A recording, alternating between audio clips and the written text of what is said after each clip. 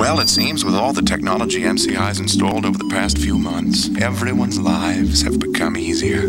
Why, just the other day, I saw our telecom manager smile for the first time in I don't know how long. And because we've combined all our communications with MCI, we've saved the company a lot of money, making even our normally subdued CFO somewhat happier.